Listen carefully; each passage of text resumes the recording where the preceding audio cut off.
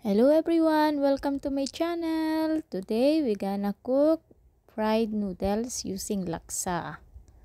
So here's the ingredients. We have a pork and can. Mm.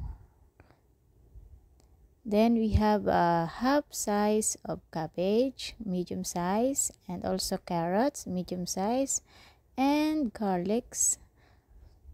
Then we have cooking oil. This is light olive oil then one egg. And here is the pork that I opened already. Then the sauce from the can.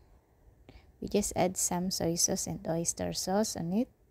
Then a chop of garlic a pepper dark soy sauce the laksa noodles and the chopped cabbage. So let's get started we need to, to heat first the stove. So the pan is uh, hot. We're gonna add the oil the cooking oil. Then garlic. Shoot the garlic until the aroma comes up. Mix a bit.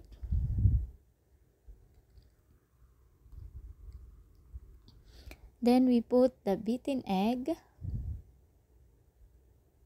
mix like that before we add the chopped carrots. Just mix well also then add the cabbage. Okay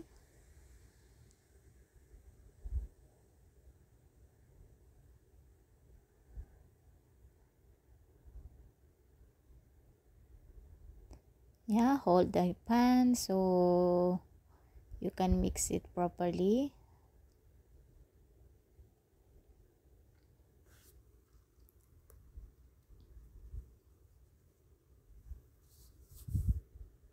After that we're gonna add the sauce the one we make earlier and also the pork Actually, this types of pork is very soft already. So, using a leather, you can cut it into small pieces while mixing the vegetables.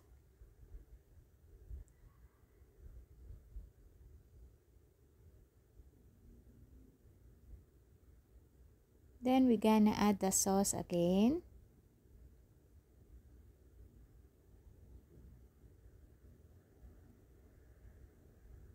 Then a bit of pepper. And mix together.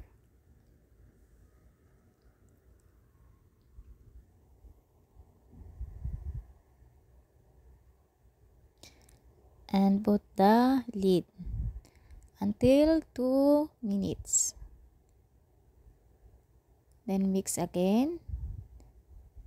Okay finally the vegetable is cooked. Then gonna add the laksa noodles. This type of noodles is very easy to cook. 2 to 3 minutes cook already.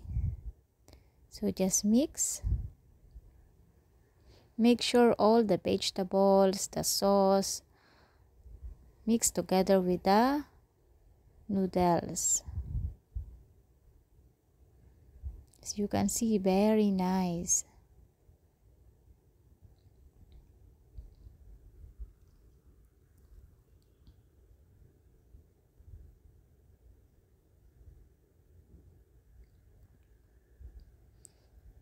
Then we're gonna add the dark soy sauce. Actually two drops is enough for dark soy sauce. Sometimes no need the dark soy sauce. If you want your noodles is uh, white. But for me for fried noodles I like to put some dark soy sauce to give some taste also and color to our noodles then put the cover again. Then one minute only. Then mix it. And then we are almost done. Okay you see? Let's eat. Enjoy your meal. Thank you for watching